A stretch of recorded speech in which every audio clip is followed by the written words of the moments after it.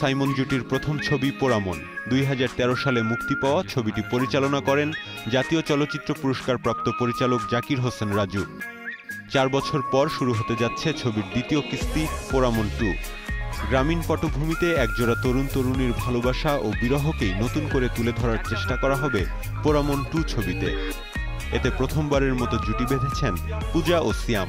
এই ছবির মাধ্যমে চলচ্চিত্রে অভিষিক্ত হচ্ছেন নাটক ও বিজ্ঞাপনে কাজ করা সিয়াম।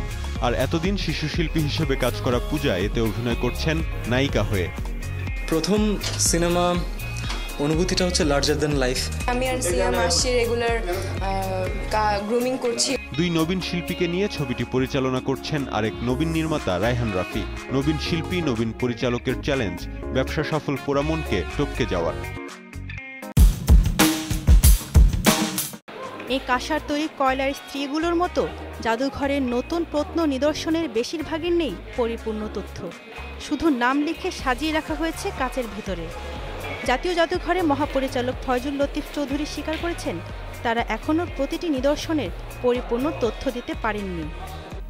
অধ্যাপক সুফি মোস্তাফিজুর রহমান বললেন, জাদুঘর হলো এক ধরনের তথ্য ভাণ্ডার তাই এখানে প্রতিটি নিদর্শনের সঠিক ও পরিপূর্ণ তথ্য দেওয়া উচিত।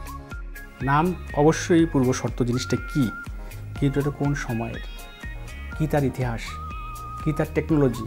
কী তার বাণিজ্য? কে নির্মাণ করেছেন? কী তার শিল্পীর পরিচয়? সামগ্রিকভাবে উপস্থাপিত হলে সেটি মানুষের আগ্রহ তৈরি করে। পৃথিবীর নানা জাদুঘরে এই ধরনের তথ্য ঘাটতি থাকার কথা জানালেন মহাপরিচালক। কিছু নিদর্শনে রয়েছে শুধু কেনার সাল শিগগিরই এসব নিদর্শনের তথ্য সংগ্রহের কাজ শেষ করার কথা জানিয়েছেন জাদুঘর কর্তৃপক্ষ।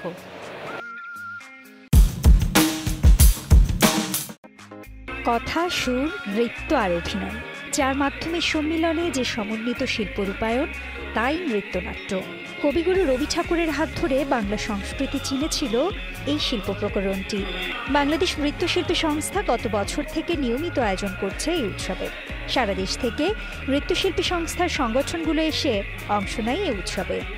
সন্ধ্যায় জাতীয় নাট্যশালায় এই উৎসব উদ্বোধন করেন অর্থমন্ত্রী। এবারের উৎসব সাম্প্রদায়িক হামলার ঘটনায় জর্জরিত মানুষের মন থেকে ক্লেদ, ক্লান্তি মুছে দেবে বলে মনে করেন উদ্বোধনী আয়োজনের প্রধান অতিথি। প্রথম দিনে মঞ্চস্থ হয়েছে বাফা প্রযোজিত নৃত্যনাট্য নকশি কাঁথার মাঠ। ফারহানা চৌধুরী বেবির পরিচালনায় নৃত্যনাট্যটির প্রধান দুটি চরিত্র রূপায়ণ করেছেন সাদিয়া ইসলাম মৌ ও আব্দুর রশিদ স্বপন। শুক্রবার ছাড়া বাইশ নভেম্বর পর্যন্ত প্রতিদিন সন্ধ্যায় জাতীয় নাট্যশালায় রয়েছে এই উৎসবের নৃত্যনাট্য।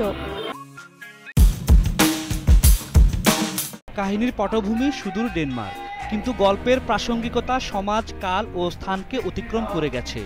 যুবরাজ হ্যামলেটের বাবার মৃত্যুর পর চাচা ক্লডিয়াস তার মা রানী গার্টরুডের সাথে বিবাহ বন্ধনে আবদ্ধ হন। দখল করেন সিংহাসন।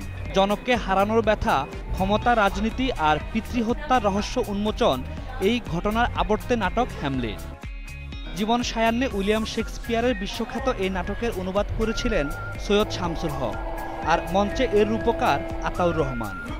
ঈশ্বরের পর সর্বাধিক স্মরণীয় মানব চরিত্র সৃষ্টি করেছেন ইংলিশ নাট্যকার উইলিয়াম শেক্সপিয়ার। এই উক্তির যথার্থতা প্রমাণ করেছে হ্যামলেট। পাশ্চাত্য রীতির এই নাটককে দেশীয় কবির কাব্যাংশ ও সঙ্গীতের মিশেলে এদেশের হ্যামলেটে পরিণত করতে চেয়েছেন সব্যসাচী লেখক। মঞ্চে সেটাই রূপায়িত করেছেন অভিনয় শিল্পীরা